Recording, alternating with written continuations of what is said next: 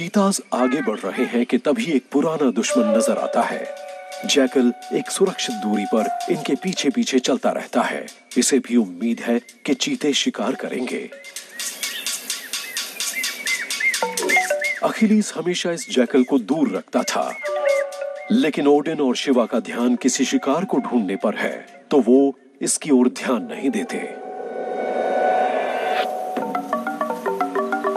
इन brothers को आखिरकार एक फीमेल वॉट हॉग नज़र आती है, जिसके साथ बच्चे भी हैं। ये छोटे छोटे बच्चे इनका आसान शिकार बन सकते हैं। लेकिन अखिलीस के न होने से ये ठीक से हमला नहीं कर पाते। ये बच्चे भाग जाते हैं और फीमेल वॉट हॉग चीतास को भगा देती है।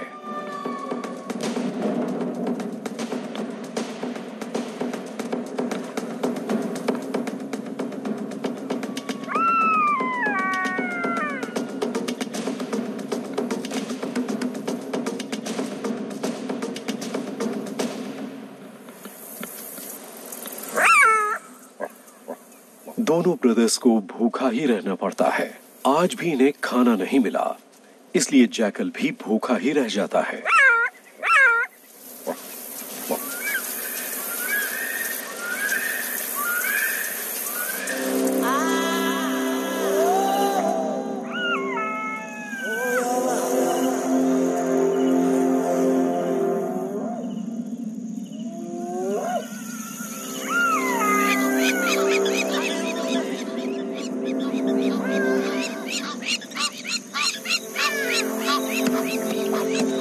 अगले दिन ओडिन और शिवा फिर से कोशिश कर रहे हैं।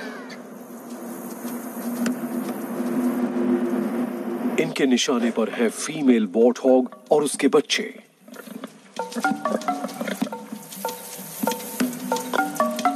चीतास की स्पॉटेड स्किन उन्हें छिपाए रखती है और आज वो इंतज़ार करते हैं।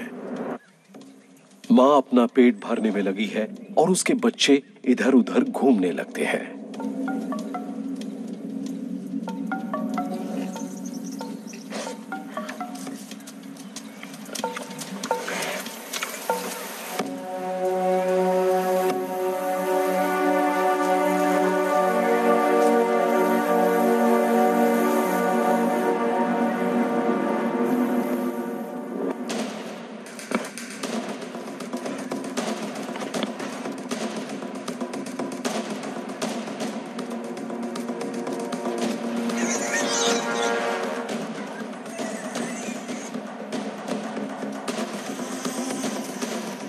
ओडिन तो एक बच्चे को पकड़ लेता है, लेकिन शिवा को कामयाबी नहीं मिलती।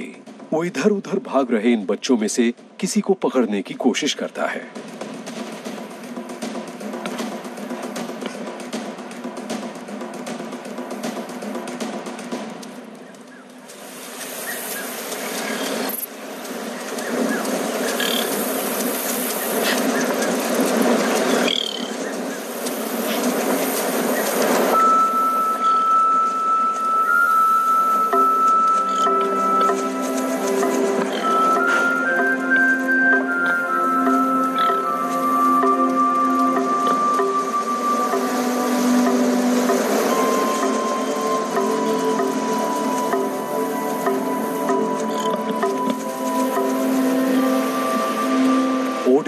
छह दिन बाद कुछ खाने को मिला है।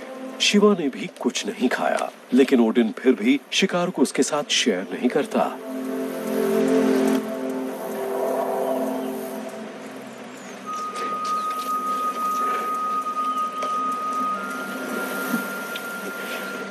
शिवा नाराज़गी नहीं दिखाता। ओडिन ने साबित कर दिया है कि कौन बड़ा है, और शिवा ने भी इसे मान लिया है। अपना पहला शिकार कर लेने के बाद, अब ओडिन इस चीता ब्रदरहुड में शिकार करने के मामले में अखिलिस की जगह लेगा। फीमेल वॉट हॉग इस हमले से बुरी तरह घबरा गई है, लेकिन वो अफसोस नहीं मना सकती। इससे पहले कि उसके बच्चों में से कोई और मारा जाए, उसे उन्हें यहाँ से दूर ले जाना होगा।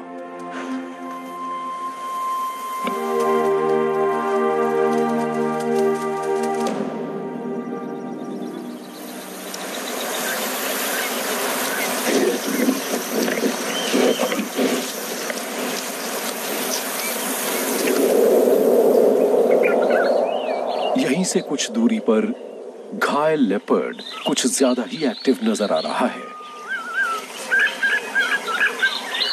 उसे एक फीमेल की सेंट मिली है, जिसे एक मेल साथी की तलाश है।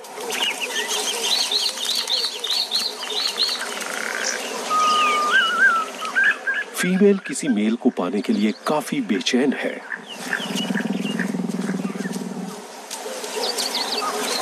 अपने घायल पंजे की वजह से ये शिकारी एक स्कैवेंजर बन गया है।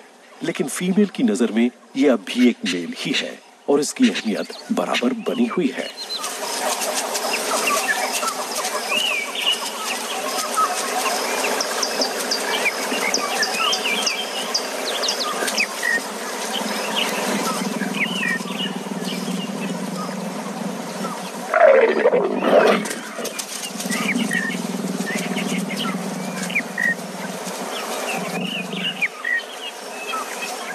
इनका मिलना कई दिन तक चलता रहता है। कई बिग कैट्स में फीमेल की ओवरीज तभी एक एग रिलीज़ करती हैं, जब वो मेटिंग कर लेती है।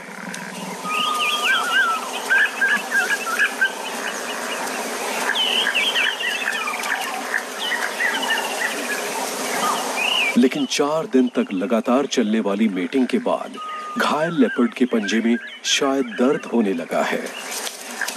वो तभी मेट करता है जब फीमेल उसके पास आती है। और फिर वो अपने अपने रास्ते चले जाते हैं। घायल लेपर्ड बुरी तरह थका हुआ और भूखा है और खाना ढूंढ पाने की हालत में नहीं है।